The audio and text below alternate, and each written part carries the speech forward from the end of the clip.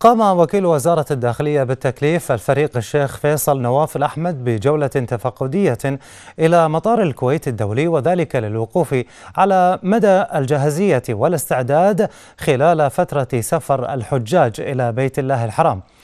أوضحت الداخلية أن الفريق النواف اطلع خلال جولته التفقدية على آلية سير العمل في كاونتر جوازات المطار وإجراءات سفر حملات الحج الكويتية والعابرين ترانزيت إلى الأراضي المقدسة في صالة المغادرين.